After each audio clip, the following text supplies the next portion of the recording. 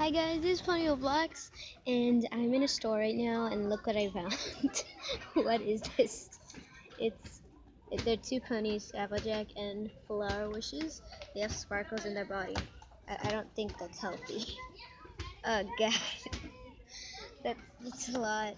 See if you just shake, shake the shake the sparkles up. There's a party inside the pony. That's that's kind of weird. This is bye.